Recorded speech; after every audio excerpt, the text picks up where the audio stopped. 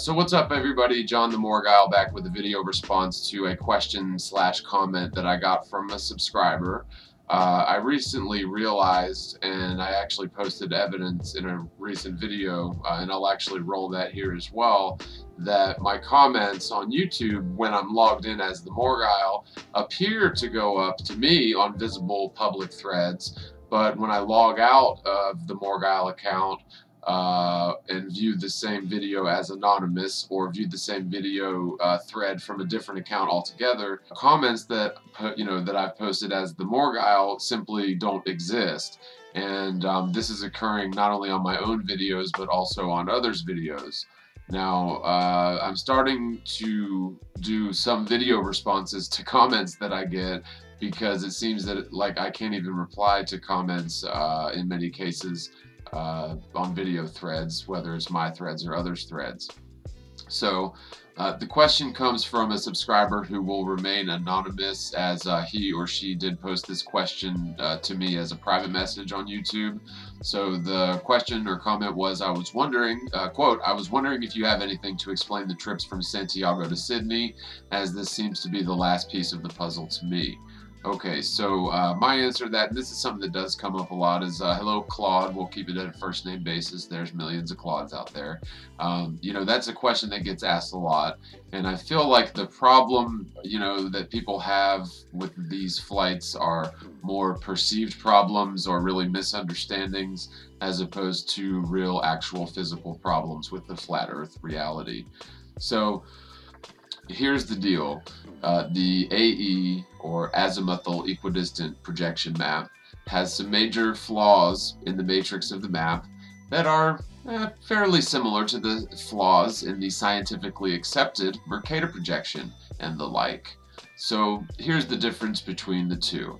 Uh, we'll start with the Mercator projection, and this applies to others like the Peters projection, um, I would first mention that the Mercator projection nor the Peters projection are models of the Earth, uh, nor are they an adequate representation of the actual face of the Earth.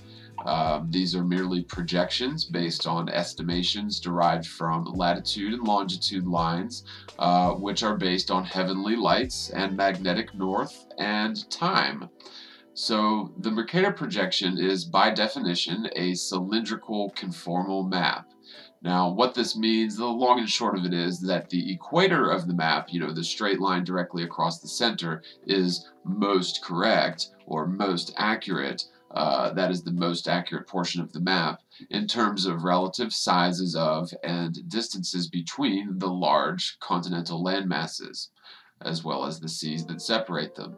Now, as you stray either north or south of the equator, uh, the less and less accurate the Mercator projection becomes uh, to the point to where the 90 degree latitudes of north and south, so the poles, uh, these single points on the sphere are stretched to infinity across the entire length of the top and bottom of the map. So, in other words, the top and bottom of the Mercator projection and the Peters uh, depiction uh, are so far removed from what the actual sizes and distances between the areas, any significant distance from the equator, as uh, extremely skewed and inaccurate. So pretty much everywhere south of the Tropic of Capricorn or north of the Tropic of Cancer, uh, the relative sizes and distances of continents cannot possibly be correct on the Mercator projection by definition. Yet it allows for adequate navigation as it relied throughout history on manual navigation, which always involved magnetic north, as well as celestial observations, which are ascribed to mathematically defined lines of latitude and longitude. Now, this map, the Mercator projection, allows for long distance travel across great oceans. However, it is not an accurate depiction of the overall face of the Earth.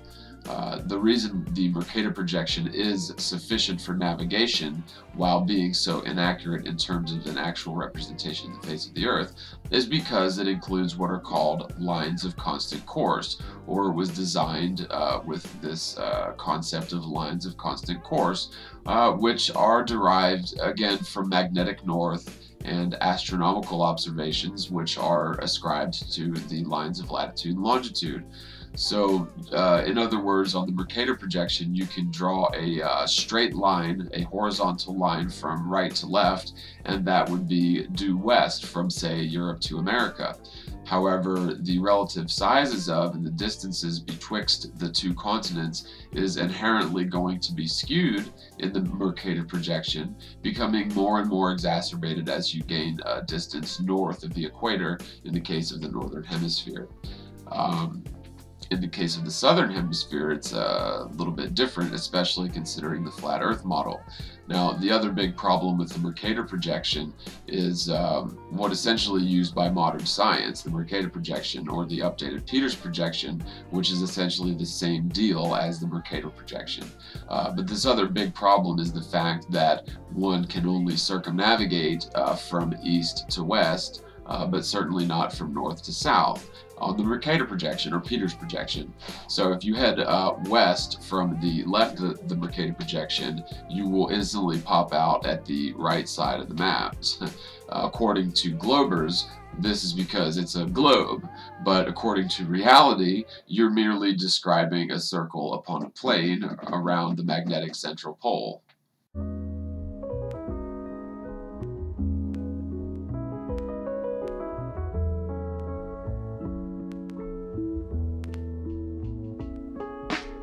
Now, if you do head south from the bottom of the Mercator projection, uh, for example, you will not pop out at the top, um, which is, you know, a major problem. However, that's where they get the cylindrical part of the uh, type of projection, the cylindrical conformal map.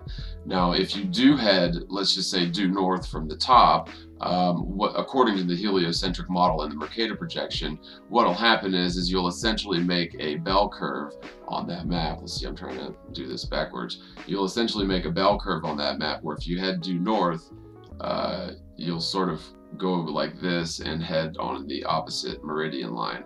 Same thing if you head south, you make sort of a bell curve and head uh, like this and make a bell curve on the opposite uh, meridian line from where you started if you keep a constant course. That's allegedly what would happen on a Mercator uh, sort of projection if you head north from the North Pole.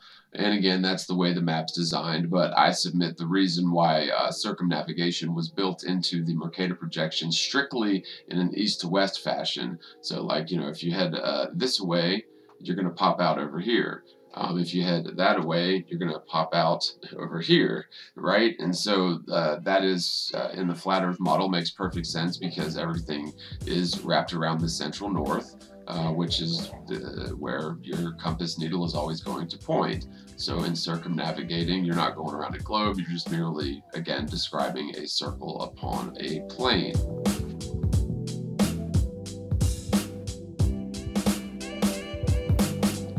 Now, I'm going to go ahead and submit that the real reason why you can't circumnavigate, you know, start from the top of the Mercator projection and pop out at the bottom is uh, not just simply because it's a cylindrical map, but because north to south uh, circumnavigation is impossible.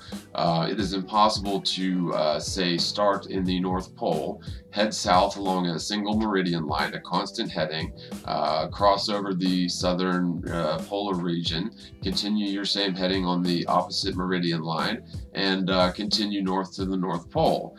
nobody has in history ever done that. Okay, so what I'm going to do is just read from this little uh, diagram I have here. Uh, not one single person in history has even attempted to completely circumnavigate the world from north to south, keeping a constant heading or more or less constant heading upon a single meridian line, traversing both quote-unquote poles in a single flight or even a series of consecutive flights.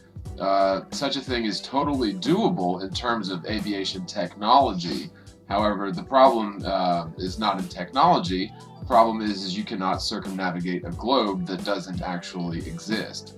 Now, as many people who have won their claim to fame for circumnavigating the world in an east to west fashion, you would think that loads of adventurers would decide to outdo all those other lazy bastards and circumnavigate the polar areas, you know, going north to south, starting in one pole, going around the other pole, and winding up back in the pole where you started.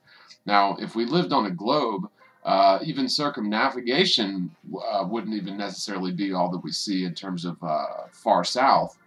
Um, if we lived on a globe, we would certainly have uh, seen people at least attempting to do this by now, but we would also see extremely heavy airline traffic around the Antarctic Circle.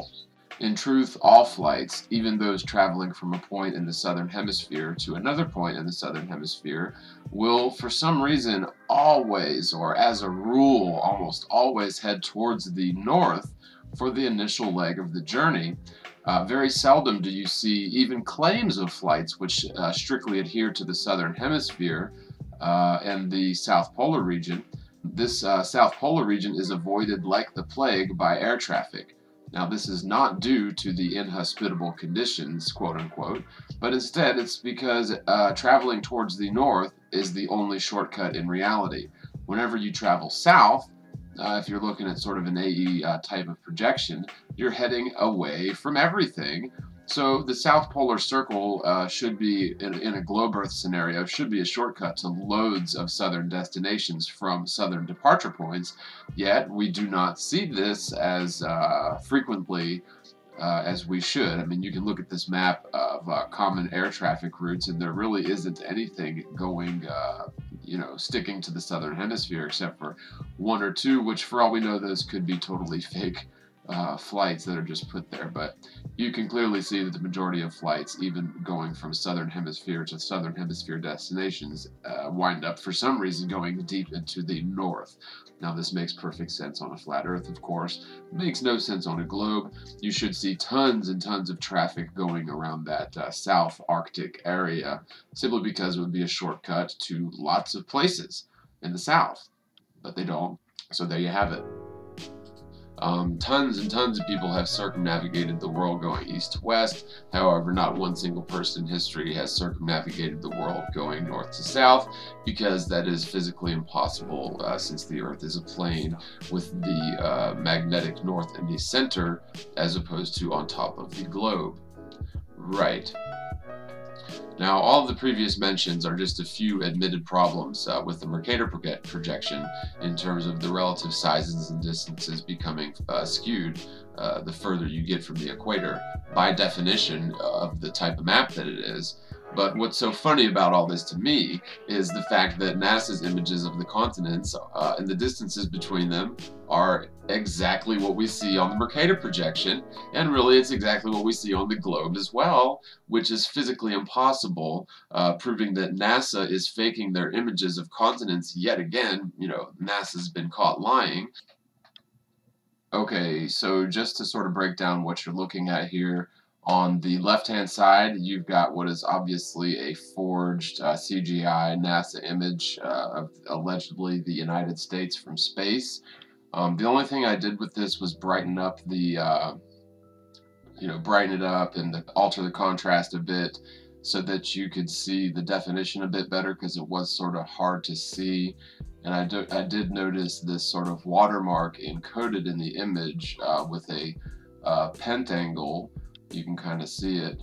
Uh, maybe I'll throw another one with this uh, extra showed up. But yeah, you can see this strange symbol with the pentangle and then the, the letters P-O-N-D 5 it looks like. So anyway, um, you've got this uh, image uh, allegedly taken from space of the United States and when you compare that with the Mercator projection, it's uh, very clearly obvious, pretty much identical to what you see on the Mercator projection. So what I'm going to do is I'm going to take this image into uh, Adobe Illustrator and I'm just going to draw a basic uh, line art around the outline of the United States or really the, I guess you could say the Gulf of Mexico and sort of the, the southern coastlines and then the western coastline uh, just to see how spot on they do match. Now obviously what NASA has done is they have uh, taken the Mercator projection and you know wrapped it around the sphere in a CGI program in a 3D modeling program.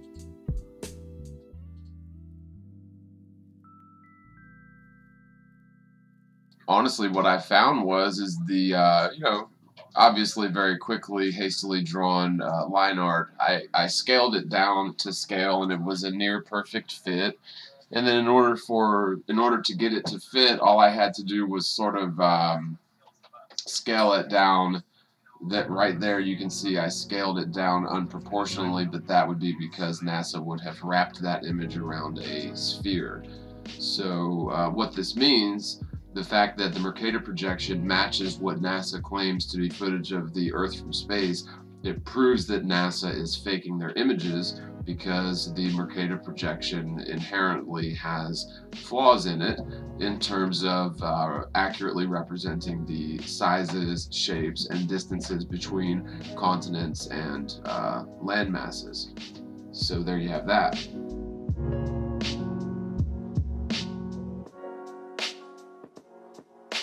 Uh, because it would be physically impossible for the Mercator projection maps uh, to look anything like what the actual land masses look like, uh, simply due to the nature of the matrix of the map. Uh, the map uh, projection, the Mercator projection, was not designed to be an accurate representation of the Earth. It was designed to allow for easy navigation using lines of constant course, uh, which are again, as, you know, mathematically ascribed latitude and longitude lines based on celestial observations over time. Okay, so, but yeah, the fact that NASA shows us images of South America and North America that look pretty much identical to what the uh, more modernized uh, projections look like uh, just goes to show that they're lying. Uh, okay, so I also find it really suspect that Gerardus Mercator fairly well mapped out the entire United States, including California, although the original Mercator projection was not 100% accurate, it was very accurate uh, for a land that had only just been discovered, uh, a land the size of America that had only just been discovered about 100 years prior to him making his projection. However, California had only just been discovered when he uh, completed his projection, and explorers were literally still mapping the coastlines and the inland areas of California for about 200 years after Mercator's original projection. So how could he have possibly gotten even close uh, to, you know, what the United States looked like, including California, when the data simply wasn't there when he created the map? Uh, could it be uh, that, like we often see, uh, the theoretical models of very brilliant and esteemed people, especially when you're dealing with globers, uh, these theoretical models are always pushed forward and somehow miraculously confirmed by science as being accurate and true, uh, even if it happens to not be true. You know, another example would be Einstein's theory of relativity in space-time. Just because he thunk it and uh, convinced people of it doesn't mean that you can point to it as proof that the uh, quote-unquote vacuum of space is a uh, rectilinear mesh of space and time that is warped by large massive objects in space like the planets and the stars uh, in order to cause this whimsical gravity, which is exactly a vacuum pushing uh, against atmosphere, which is impossible. But anyway, how could you know Mercator have possibly been even close uh, when the data wasn't even there uh, when he created the map? Could it be that uh, you know we often see theoretical models of the uh, you know globers are always pushed forward by science as truth, even if it's not so true or maybe not confirmed yet? Now, uh, for example, another example would be when the moon landings occurred, the scientists expected one-sixth Earth gravity, quotes, due to the alleged mass of the moon. Now, one huge thing they forgot to consider was that even if we give them, you know, for argument's sake, the one-sixth mass of the moon, uh, they forgot to consider the fact that the Earth is uh, very heavy with atmosphere. There's a lot of atmospheric or barometric pressure uh, pushing down upon sea level at about 14.7 pounds per square inch. Now that doesn't sound like a lot, but uh, if you spread out an entire page of the newspaper, there's almost 9,000 pounds of air on that uh, piece of newspaper. Okay, so there is a great deal of barometric pressure on Earth, which is indeed what uh, gives us most of our weight on a scale, and that is according to either the heliocentric model or the flat Earth model. Uh, gravity is such a weak force, it is merely a, described as an acceleration or a tendency for higher density objects to find their way down.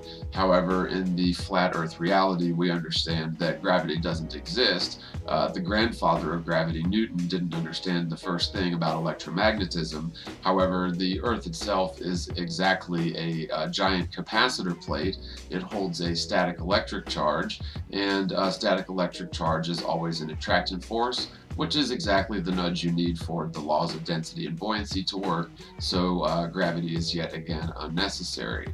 Um, gravity started being unnecessary when you realize that the Earth isn't a spinning sphere. Uh, it's completely unnecessary when you understand density and buoyancy, and the fundamental premise that governs density and buoyancy is indeed electromagnetic, or the static electric charge of the Earth has nothing to do with the theoretical, nonsensical, absurd gravity. Right. So, anyway, the moon, uh, up as a very stark contrast to the Earth, is supposedly, uh, well, the atmosphere close to the moon's surface is essentially a good vacuum, according, according to scientists that means there would be no 14.7 uh, pounds per square inch of uh, barometric pressure. And in fact, the little liar knots uh, should have weighed, you know, maybe one six hundredth of what they normally would on a scale on Earth. Because again, you're not just dealing with one sixth gravity, you know, quote unquote gravity, but you're also dealing with uh, essentially zero barometric pressure. And so really what should have happened was is their little uh, 11 layered suits that were uh, 16th inch, I believe, in diameter, if I'm not mistaken, something like that. Less than a quarter inch, uh, 3 16th inch in diameter, little rubbery, bubbly suits that uh, should have technically exploded. You know, they were sort of stitched together, rubbly, bubbly suits ridiculous that uh, they stepped out into this near perfect vacuum and didn't uh, their suits didn't you know bubble up and explode and the astronauts fluids didn't boil away and freeze and then boil on the surface of the moon. I mean it's just totally ridiculous that they got away with all that. But the, the point that i was trying to make is that nasa uh, essentially told on themselves, gave themselves away when they confirmed the theory that, uh, uh, you know, say a 200 pound man should weigh one sixth of that. So that would be what? 33.33 pounds. That's okay. So, according to their gravitic theory, uh, a 200 pound man would weigh one sixth his weight, so that would be about 33.33, 33 and a third uh, pounds. Okay. However, uh, this this is what they reported, which means everybody that worked for NASA must have missed the day at school where they were taught about barometric pressure, because again, uh, barometric pressure plays a huge role in our weight on a scale, as well as the boiling point of water, but if you gain an altitude, uh, you will weigh slightly less due to barometric pressure. And in fact, uh, if you travel to the North Pole, where the barometric pressure is at its is, is at its highest, you will weigh slightly more. Um, however, if you went to the theoretical moon, where there's one-sixth gravity and no barometric pressure, you'd be as light as a feather. I mean, those guys shouldn't have been hopping around looking like they're on pogo sticks. They should have been leaping uh, entire buildings with a single bound. I, I would have really been worried about uh, the very weak gravity of the moon pulling me back down towards it, to be very honest, since there is no uh, barometric pressure to speak of, allegedly, on the surface of the moon.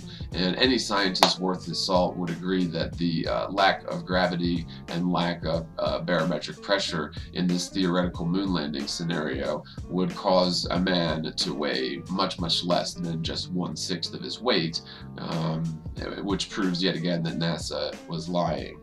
So a few, you know, I just mentioned a few things that are wrong with NASA, a few admitted problems with the Mercator projection. At the end of the day, Lions tends to go out of their way to confirm the often bizarre and preposterous theorem of the most esteemed and scientific minds.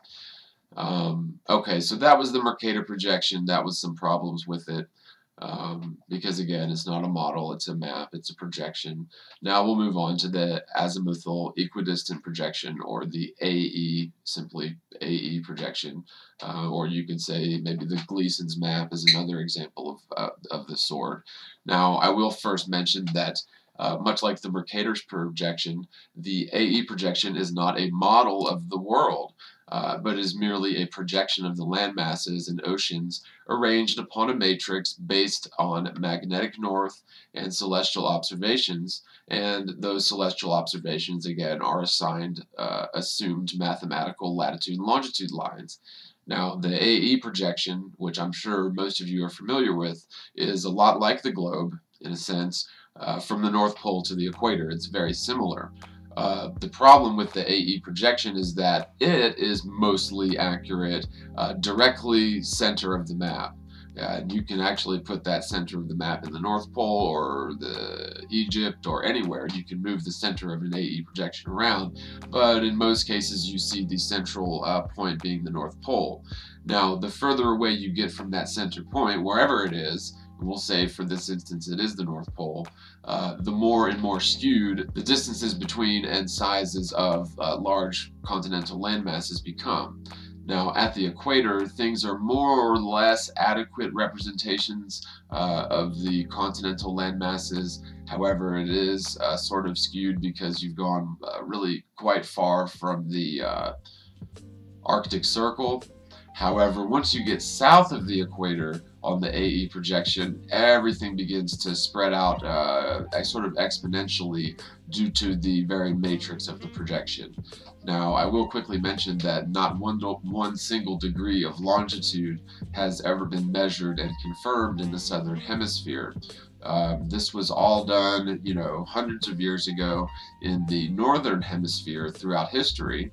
Uh, however, when these lines of longitude were calculated in the northern hemisphere, uh, at some point the Earth was assumed to be a sphere, so it seemed sufficient as a huge shortcut to rubber stamp the southern hemisphere uh, longitudinal degrees as clones of their respective uh, line in the north. So, in other words, if you confirm the distance of a single degree of longitude at the 45 degree north latitude, if you assume that the Earth is a sphere, then you can make a huge shortcut and don't even bother measuring the 45 degree south and merely clone stamp that exact value uh, in terms of a distance of one degree of longitude into the hemisphere. Now, this is problematic, uh, and in fact, practical sailors have indeed documented that the southern latitudes are longer around than the northern latitudes, uh, the northern respective latitudes, meaning a degree of longitude does appear to be greater in the south.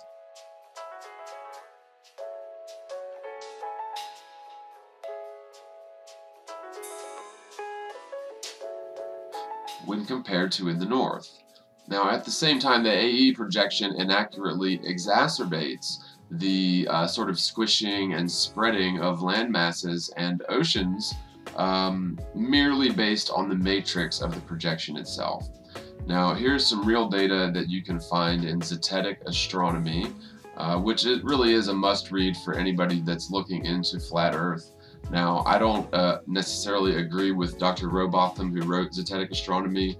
Um, I don't agree with him on everything, uh, but he certainly did a great job way back in 1865 um, documenting and sourcing uh, proof that the southern latitude rings are sort of longer or wider round or of a larger radius than uh, the respective latitude rings in the northern area or the central area.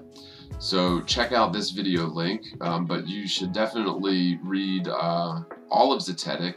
And if you don't want to read it, I've actually got it in audiobook format on my channel, read by yours truly.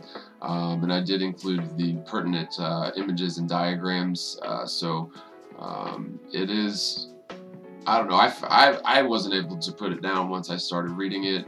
Um, if you're into that sort of thing, but um, it is in 15 minute chunks, so you don't have to do the whole book at once. Although I've got a playlist that uh, you know you can watch or listen to uh, Zetetic Astronomy uh, should you choose to do so. But it is uh, to me, it's really important because it is uh, it's from 1865. It shows that uh, the argument which is uh, echoed in the globe earth community uh, this argument that you know people have known for thousands of years that the earth was a globe and it was never even debated uh, when in fact it was debated in the 1800s it was debated in 300 BC when it was first postulated and down through the ages it was debated um, right up into 1865 right up into the early 1900s and even up to till today um, it's debated because, uh, well, there's just way too much evidence uh, proving conclusively that the Earth is not a spinning sphere in a vacuum of space.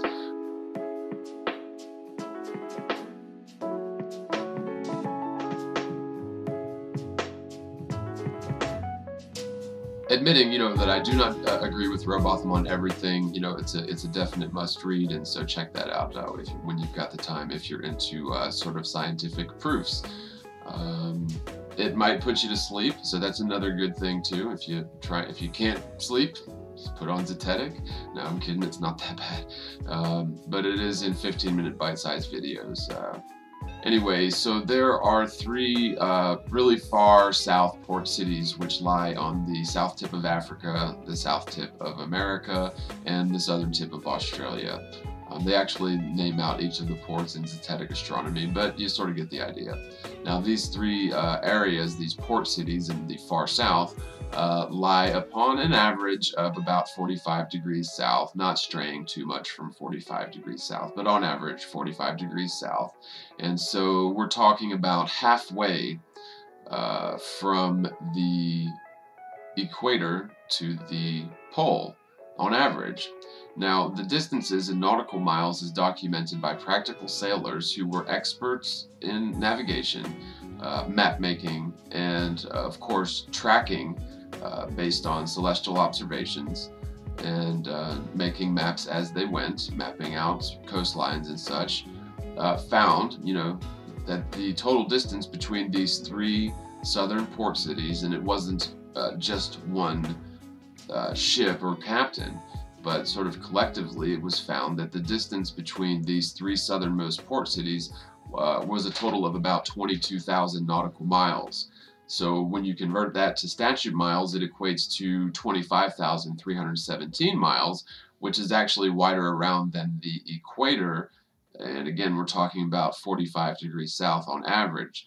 Now, even, um, you know, if you don't realize this, then any um, latitudinal ring, if you will, or latitudinal line, you know, east to west line, 45 degrees south, so halfway to the pole, uh, should not be anywhere near the uh, radius or anywhere near the circumference of the equator. It should be far, far less than that.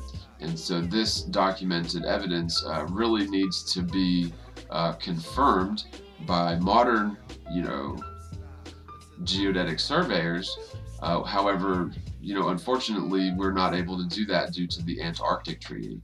We can take guided tours from those three southernmost areas directly, you know, straight across to the uh, outskirts of the Antarctic. Uh, however, you can't travel from outpost to outpost, and uh, you can't do any geodetic surveying of the entire thing. And so we really are sort of in the dark as to what's out there.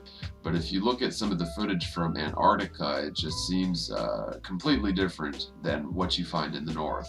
And people say this is because of global warming, but uh, Antarctica is just this huge, uh, you, you, know, hundreds of foot tall, miles of, you know, miles deep, uh, sort of glaciers and then huge mountain ranges, and it seems to go on and on and on. Um, you don't there's no indigenous life except for penguins.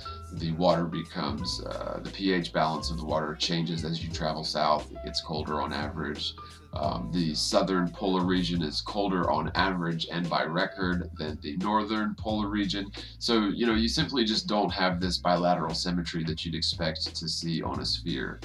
Um, and and when you when you look at the data of mariners who claim that the total distance around the average 45 degrees south latitude uh, is 22,000 nautical miles or over 25,000 miles, then you know that really is a big, huge problem for the globe Earth, and that needs to be uh, dealt with. And I think that we need to start measuring degrees of longitude in the far south, all over the place, and not just you know in Australia, New Zealand, or South America, or South Horn of Africa. Uh, we need to do it from the Antarctic and people just aren't able to do that for some reason, except for at three chosen locations, which are just not conducive to free scientific study. And um, that's a real shame.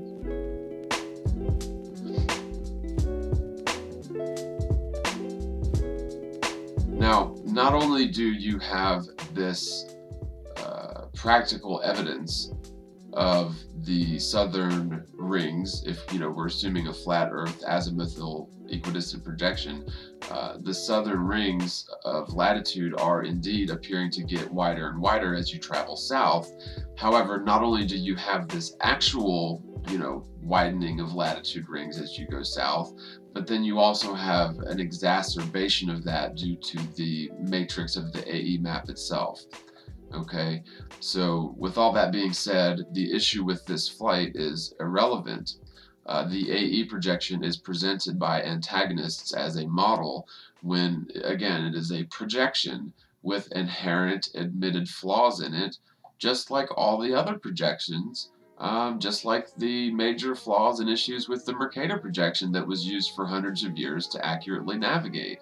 Um, none of these maps, the Mercator projection, the Gleasons, the AE, none, none of them, not even the globe, are accurate representations of the face of the Earth. And they couldn't be. The images we get from NASA couldn't be accurate representations of the land masses because they appear just as the Mercator projection. So I think I've nailed that point home. Now, getting to the question with all that sort of background information, I know I'm sort of long-winded, but sometimes background information can be helpful. Um, the distance between Santiago, Chile and uh, between Santiago to Chile is about 8,000 miles. Now this would be according to following a perfectly east to west trajectory upon a plane. Uh, due east and west are a giant curve around the central north. Okay, and so even though you know this distance being 8,000 miles is a measured distance, okay, or an, an, approximate measured distance, and it is not what it looks like on the AE projection. Okay, and I can kind of play around with the AE projection and show you what I mean. Um, if you put certain points in the center of the AE projection, you can make the United States of America wrap around the entire outside edge. Okay, so there's uh, there's issues with it, right?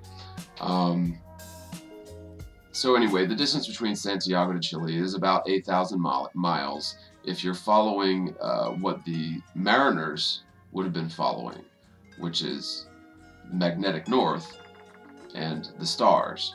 Okay, so we're talking about a, an east to west trajectory upon a plane. Uh, due east and due west would be a giant curve around the central north, and the further south you get, the more the you know the longer that curves become that curve becomes.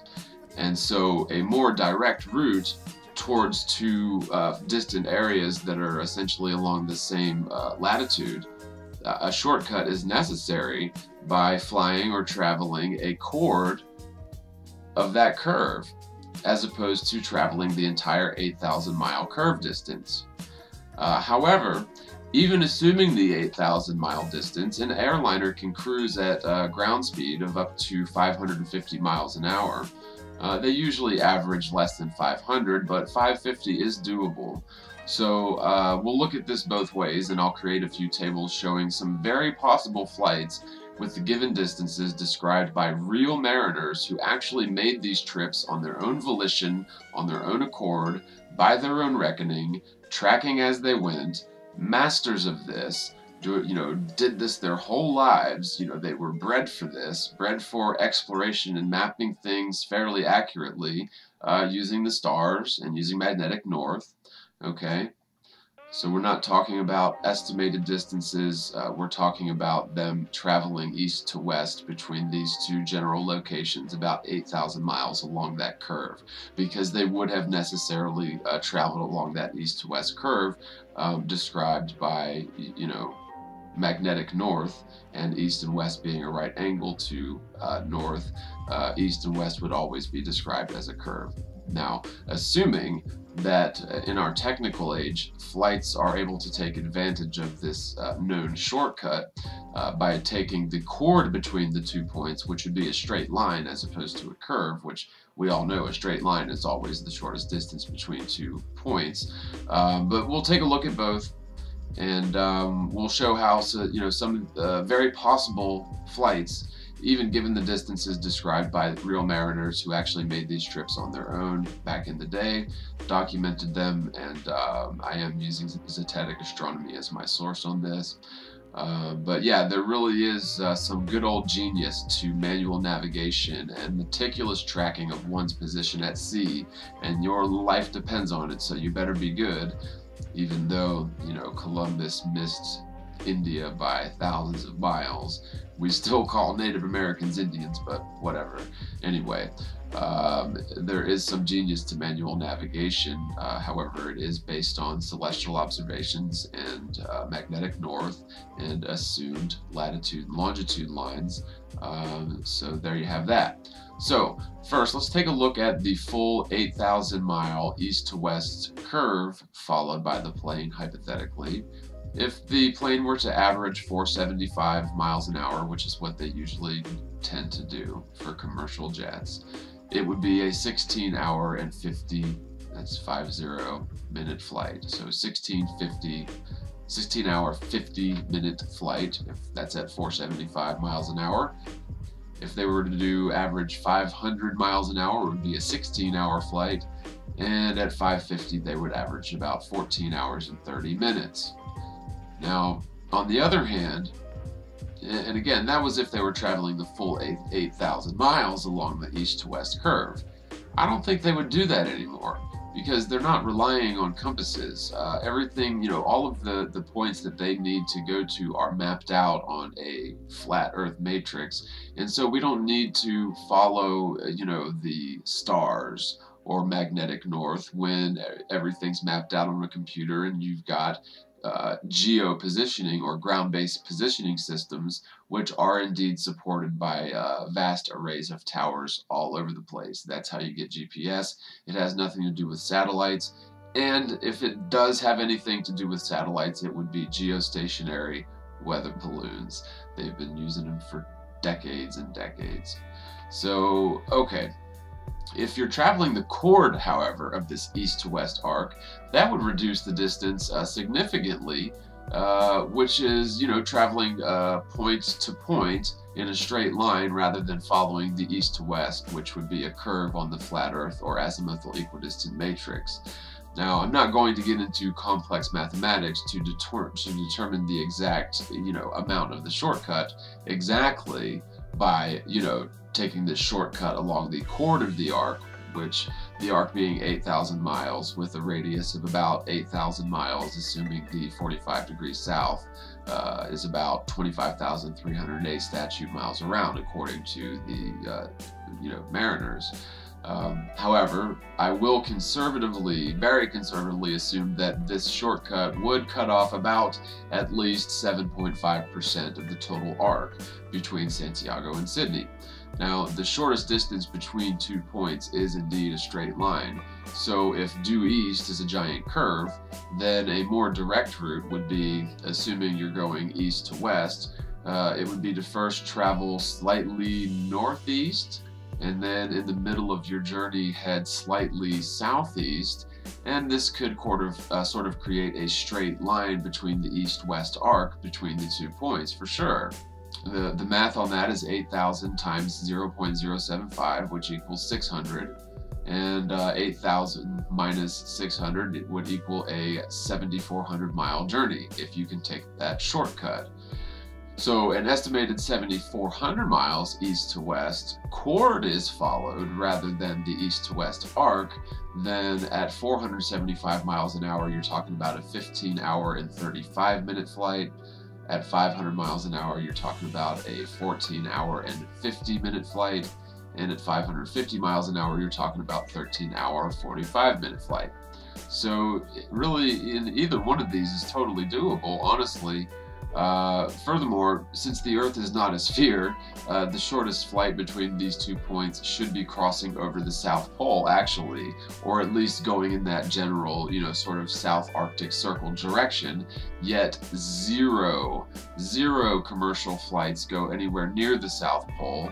Uh, they really truly avoid the southern region like the plague uh, even though the South Polar area should be a shortcut to all sorts of places all over the world in the Southern Hemisphere.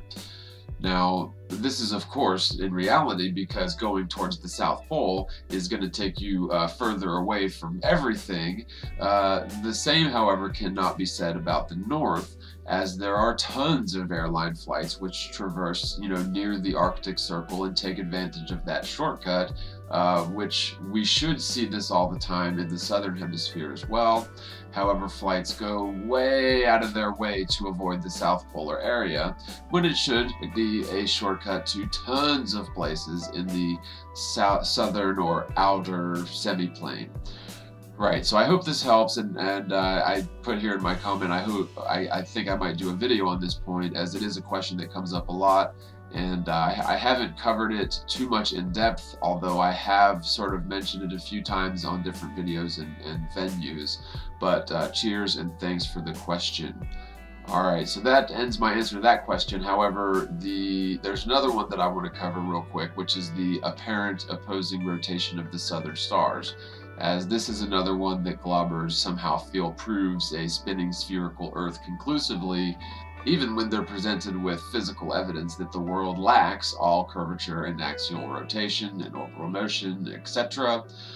So, since we all observe a very small portion of the heavens from the ground, and we all have what is essentially a large convex lens filled with atmosphere which behaves like a liquid on large scales, uh, causing the optical illusion interpreted by our eyes, which are also convex lenses, so that the most distant visible stars, you know, laterally speaking, uh, laterally away from 90 degrees overhead, uh, the, the most distant stars will appear to drop lower and lower, and eventually the most distant stars will appear to nearly merge with the ground. Now, we know that if you're about six feet tall, uh, then your ground horizon is about three and a half miles away. Now, this is true whether the Earth is a sphere or a plane. Uh, it has to do with your uh, angle of attack or line of sight towards the horizon. Now, I will say that uh, in the flat Earth reality, the ground horizon may be three and a half miles away. However, the stars that appear to be near the ground are probably much, much more distant than that. Uh, you got to understand they're probably on a plane that's thousands of miles removed from us and you've got the laws of perspective causing them to appear to drop you know lower and lower in the sky as they uh, get more distant from you. But you also have this convex lens of atmosphere that follows you around everywhere which is actually the cause of sunrise and sunset and the cause of uh, that sort of exacerbates perspective at the macro levels uh, for distant distant objects like stars and suns and moons. Um, this sort of subjective bubble all around you causes uh, the stars near the ground or the distant lateral stars to appear near the ground. Right, so um, anyway, in terms of your angle of attack or line of sight uh, towards the horizon from six feet, you know, that's three and a half miles away. Now, if you were to climb up, say, to 14 feet and then stand up on top of that, so, you know, you're 20 feet tall, then your apparent uh, horizon will increase in distance. So there's definitely a direct correlation with horizon and altitude. Now, there is a cap to this, as at a certain point, uh, well over 100,000 feet in altitude. But uh, once you start viewing uh, really super high altitude weather balloon footage, um, even though your altitude should give you an extremely large field of view, which it does, Um, the atmosphere itself uh, eventually becomes just totally an opaque barrier and it merely reflects all the light back at you so you can't see anything beyond a certain point due to the atmosphere um, which is why you have a blue sky during the day and a black sky filled with stars during the night at least on the ground. Now you'll notice that in high altitude balloon shots, uh, although you are indeed above the, above the blue sort of troposphere, the atmosphere consisting of lower density gases, perhaps helium and others, um, those gases are still reflecting and reflect, uh, refracting light back towards you, and they appear as opaque, just as the blue sky does, although these gases, uh, for some reason, for whatever reason, appear to be black as opposed to blue.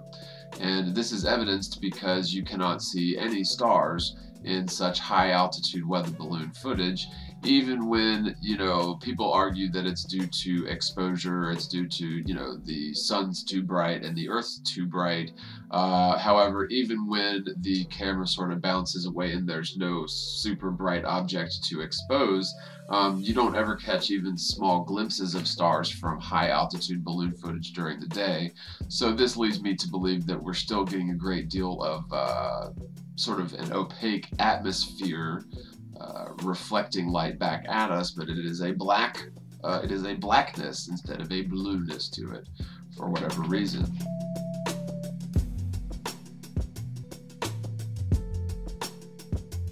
You'll actually very rarely find high altitude weather balloon footage with any stars in it at all.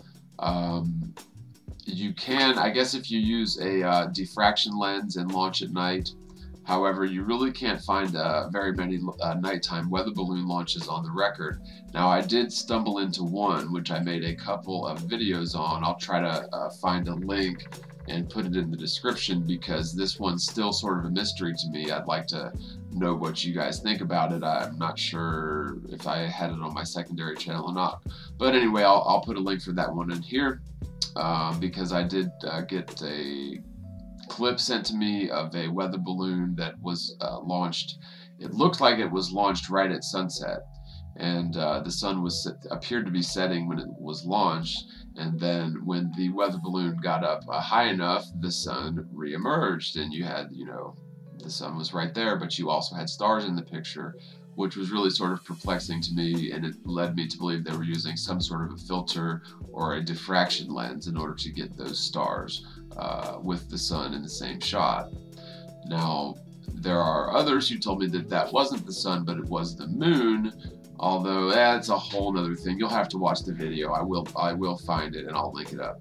Now, in any case, the way in which we observe the night sky is complete, and the day sky is completely subjective, and we really do not fully understand to what extent starlight is being perturbed as the source light, which is not in the visible spectrum, uh, nor do we know how distant it is in terms of the source of the starlight. But whatever the source light is, it's passing through a variety of varying media, such as ionized plasma tubes, which run meridionally or north to south in the lower magnetosphere. Uh, then you've got electromagnetic fields or an electromagnetic vortex generated by the Earth itself. Uh, then you've got varying layers of atmosphere in terms of uh, varying temperature, varying density, varying gas types, etc., etc., etc. So we really cannot ascribe the behavior of the apparent celestial lights to exactly correlate uh, to the behavior of the Earth.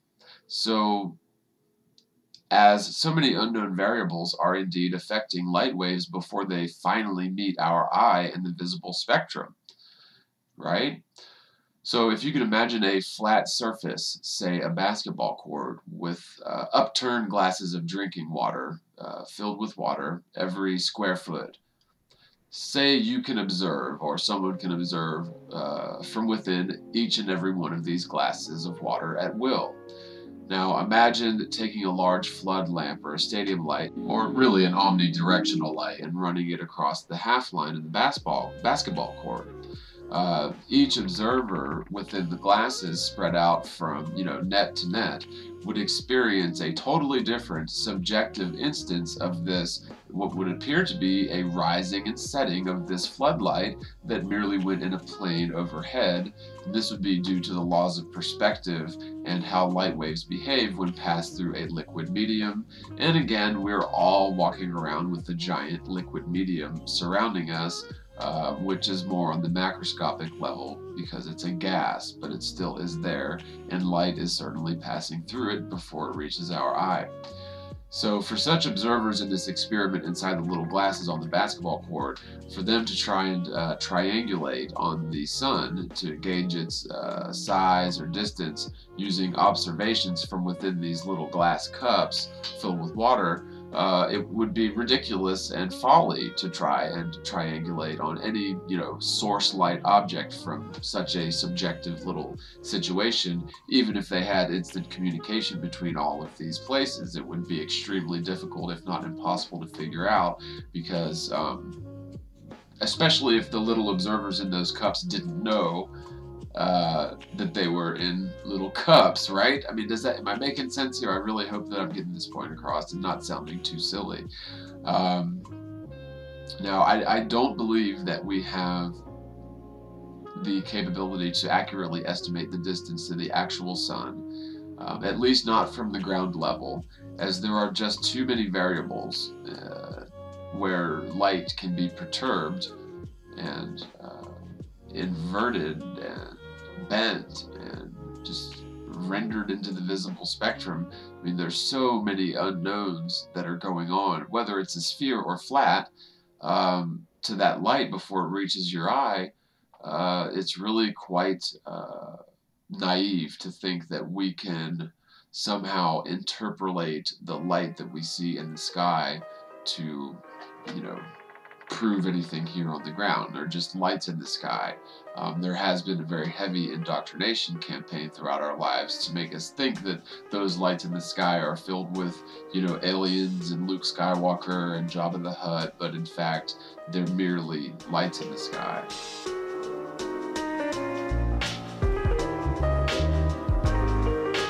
Another thing, uh, if you've ever played with a magnifying glass, you'll know that as you change relative distances between your eye and the glass or whatever you're observing, you'll find situations where the object uh, that you're observing will invert or turn upside down.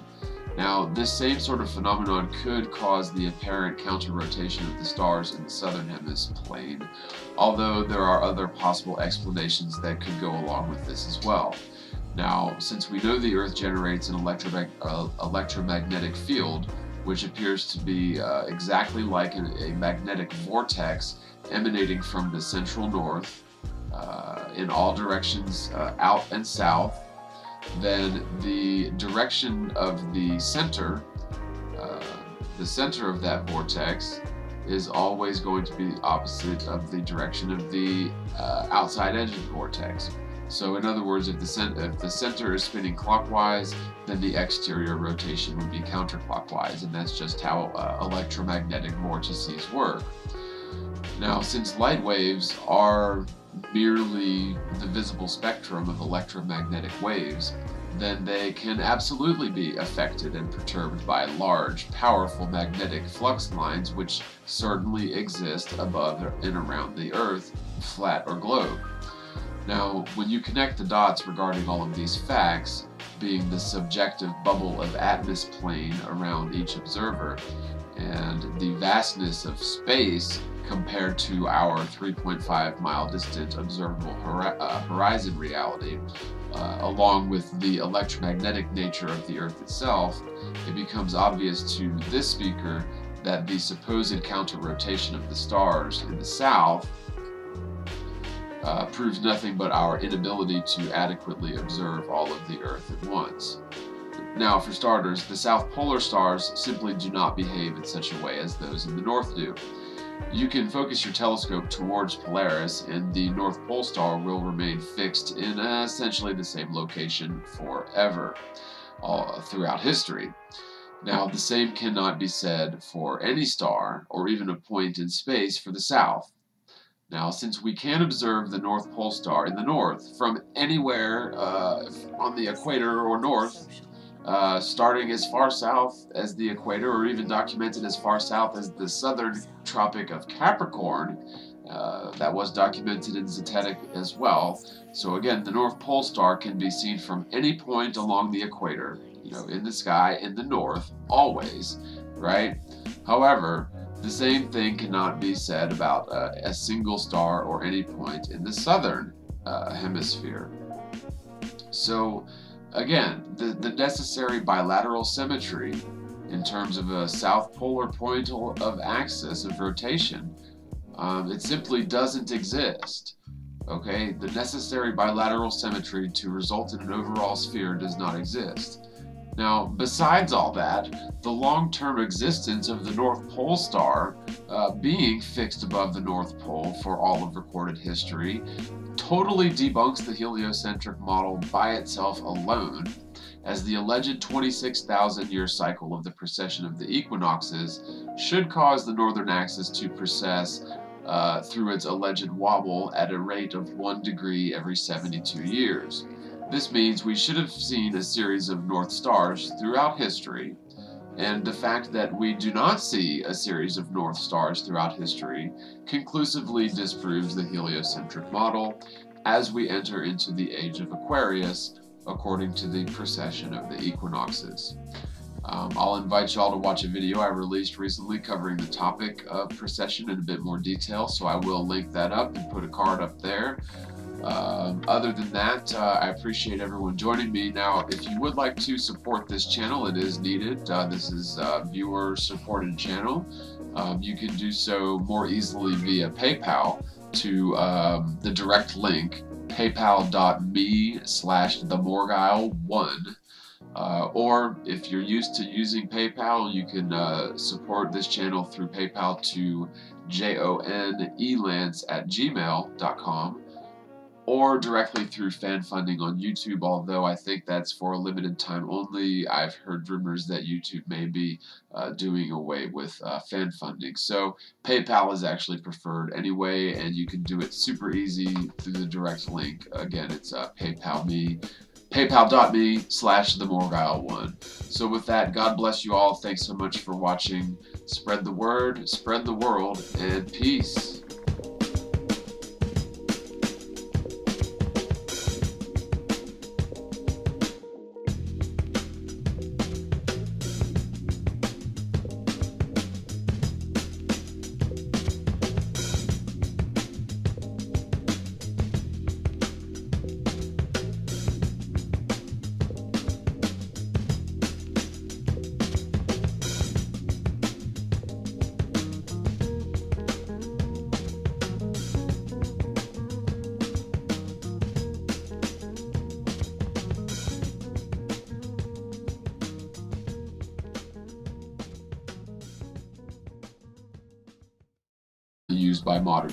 The Mercator projection or the updated Peters projection, which is essentially the same deal as the Mercator projection. Uh, but this other big problem is the fact that one can only circumnavigate uh, from east to west, uh, but certainly not from north to south on the Mercator projection or Peters projection. So if you head uh, west from the left of the Mercator projection, you will instantly pop out at the right side of the map. according to Globers, this is because it's a globe, but according to reality, you're merely describing a circle upon a plane around the magnetic central pole.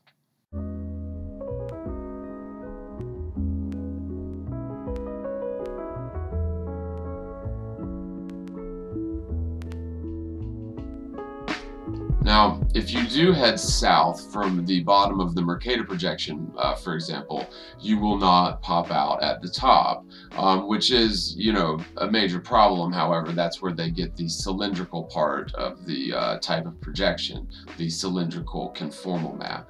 Now, if you do head, let's just say due north from the top, um, what, according to the heliocentric model and the Mercator projection, what will happen is, is you'll essentially make a bell curve on that map. Let's see, I'm trying to do this backwards. You'll essentially make a bell curve on that map where if you head due north, uh, you'll sort of as uh, he or she did post this question uh, to me as a private message on YouTube. So the question or comment was, I was wondering, uh, quote, I was wondering if you have anything to explain the trips from Santiago to Sydney, as this seems to be the last piece of the puzzle to me.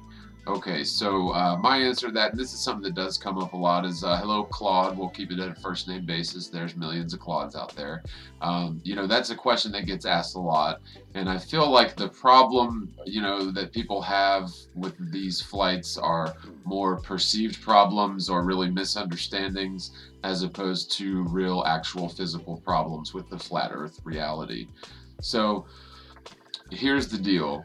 Uh, the AE, or azimuthal equidistant projection map, has some major flaws in the matrix of the map that are eh, fairly similar to the flaws in the scientifically accepted Mercator projection and the like.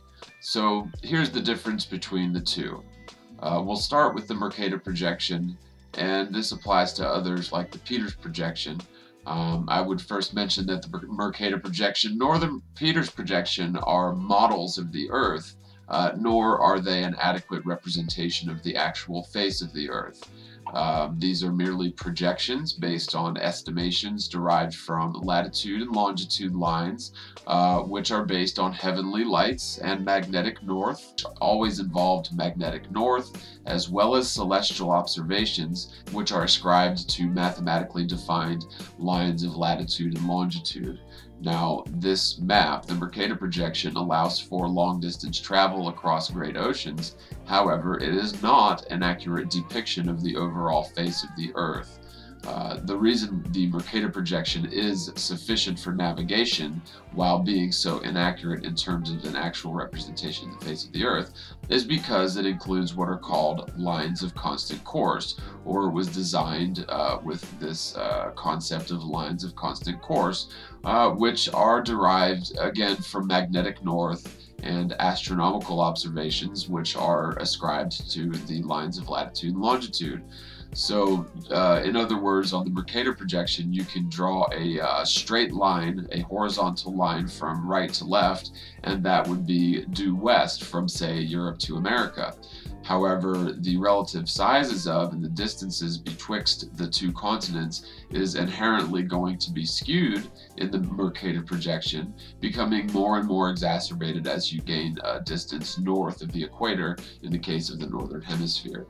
Um, in the case of the southern hemisphere, it's a little bit different, especially considering the flat Earth model. Now, the other big problem with the Mercator projection is um, what essentially and time. So the Mercator projection is by definition a cylindrical conformal map.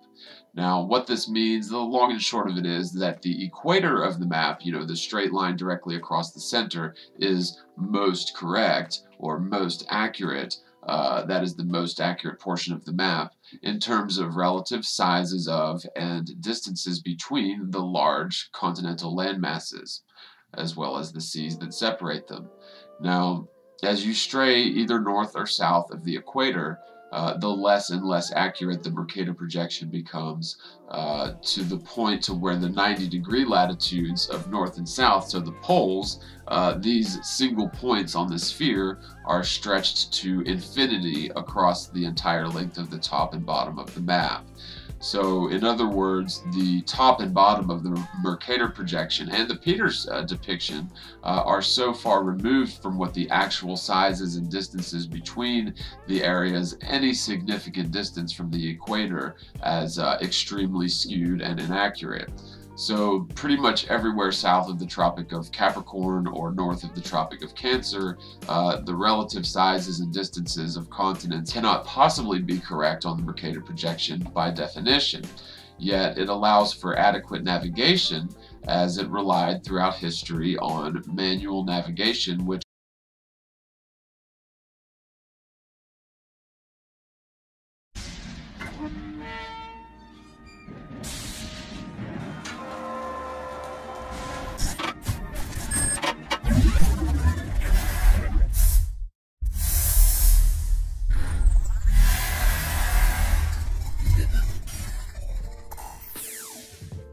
Uh, so what's up everybody, John the Morgile back with a video response to a question slash comment that I got from a subscriber.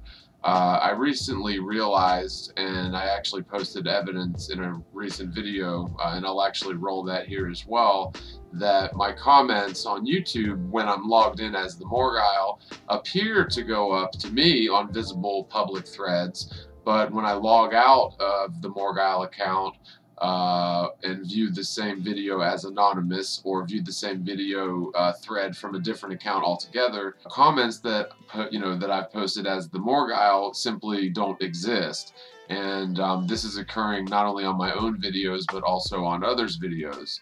Now, uh, I'm starting to do some video responses to comments that I get because it seems that like I can't even reply to comments uh, in many cases uh, on video threads, whether it's my threads or others' threads.